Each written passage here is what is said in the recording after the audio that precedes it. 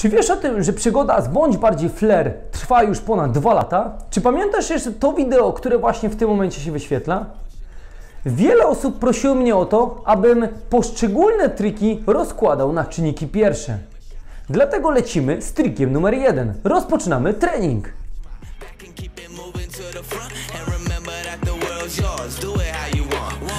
waiting here for too long. Think it's time for you to move on. Realize that there's these real times to be strong. Ok, cały trik Bądź Bardziej Flair numer jeden wyglądał w ten sposób.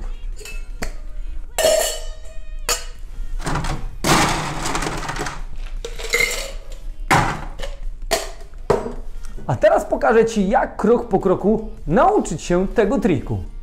Zawsze powtarzam, że aby nauczyć się triku flair, trzeba rozłożyć je na czynniki pierwsze. Dlatego lecimy z pierwszym etapem.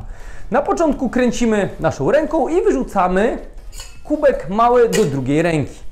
Po tak zwanej paraboli. Najważniejsze jest zrobić tutaj kilkanaście powtórzeń.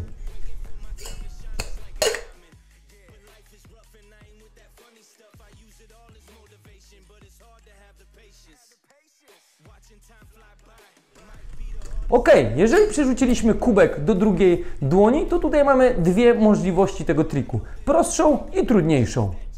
Ta prostsza to po prostu położenie tego większego kubka na mniejszy kubek i trening balansu.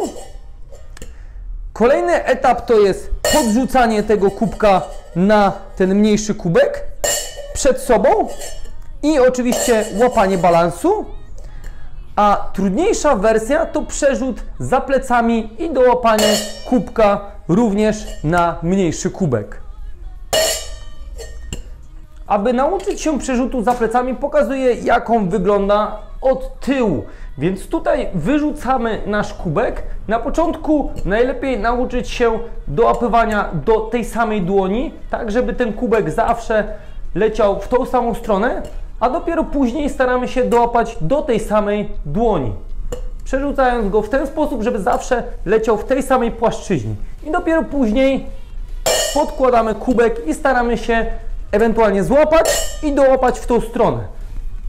Raz, dwa. Znowu etapowo. Raz, dwa.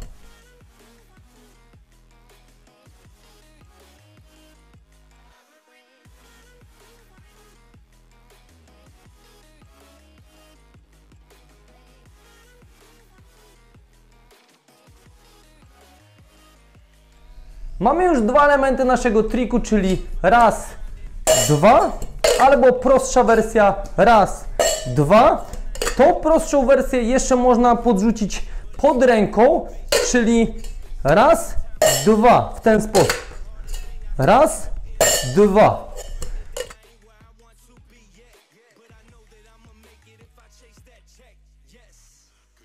W momencie, kiedy już mamy duży kubek na mniejszym kubku, tutaj kolejny etap to podrzut do góry, żeby zawsze leciał w tej samej płaszczyźnie i kolejny etap to już dołapanie na fakera. To w jaki sposób dołapać tutaj tym naszym palcem y, ten nasz kubek pokazywałem wideo i link pojawia się tutaj u góry.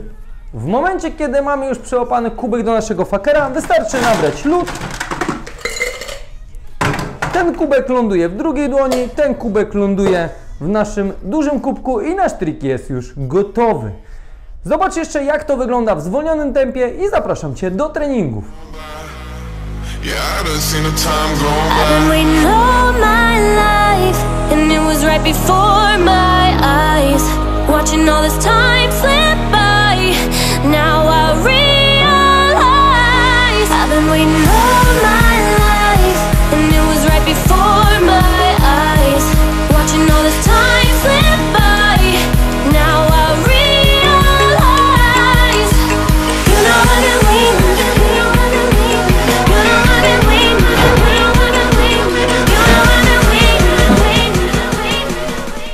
To by było na tyle w dzisiejszym treningu.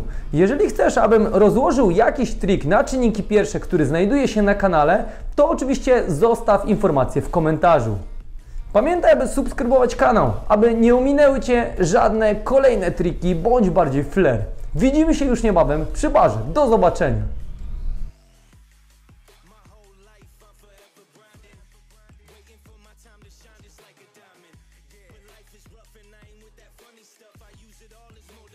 But it's hard to have.